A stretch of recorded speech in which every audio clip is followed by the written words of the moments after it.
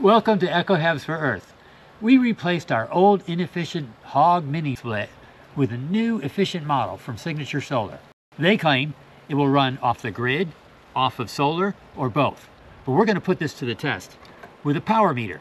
We're going to see exactly how efficient this unit is. You're going to be astonished to the results, so please watch all the way to the end.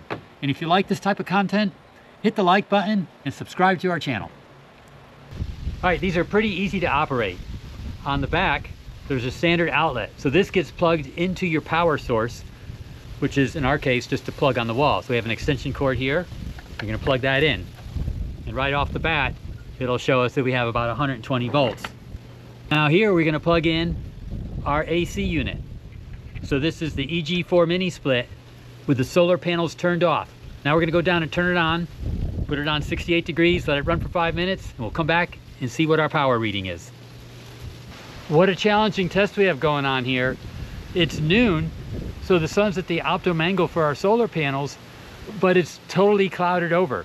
So let's have a look at these results. All our measurements are done. With our original unit, it uses 1200 watts during these conditions. Switching on the EG4, just on the grid, no solar panels, that drops to only 530 watts. Now when we add in the hybrid feature and put, plug in the solar panels, we get a mere two and a half watts of power required to run this unit. That's just amazing. Now, is that real? I think we should do some more tests. Let's take a look at our four solar panels. We can hook these up one at a time and test one through four solar panels to see how many panels it really takes to drive this. So with one panel, we get the same result that we got with no panel. It takes 530 watts of juice from the grid. So I think this means that one panel is not enough to kick in the hybrid mode of the unit.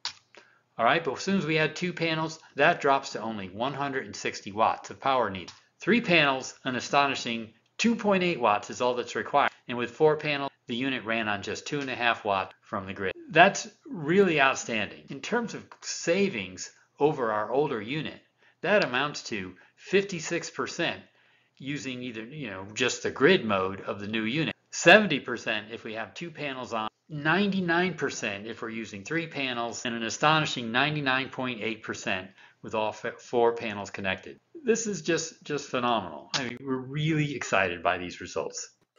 At this point, we decided to pull the plug entirely and run the EG4 on pure solar. The result? The unit fired right up with a nice blast of cold air and cooled the space down very quickly. It even works with the heat on, with just four solar panels and no grid. Okay, what a great experiment. We learned one solar panel is not enough to fire it up here at our location. We get some cost savings with two solar panels and complete 100% on solar with three or four solar panels at noon. That's really awesome. We're going to leave it hooked up to four to cover us during the earlier and later parts of the day, but this is a really exciting and a really unexpected result. Completely free air conditioning on solar. It's possible. We're doing it right now.